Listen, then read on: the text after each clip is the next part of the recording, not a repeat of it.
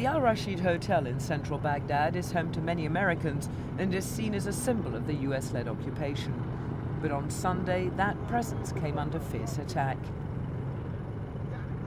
A US helicopter scanned the sky after terrorists fired rockets into the concrete face of the 18th floor building. Just after 6 a.m., they blasted huge holes in the hotel walls, shattering dozens of windows. The fifth and eighth floors sustained the worst damage. Witnesses said the rockets were launched from a vehicle parked outside the hotel.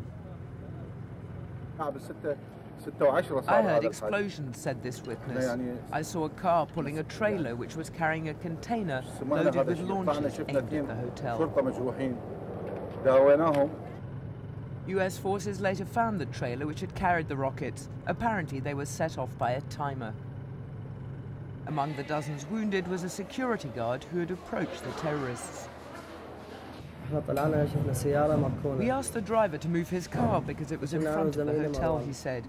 We then saw a man remove a piece of iron from the front of a vehicle. When he saw us, he ran and the missiles fired. I was injured and fell to the ground.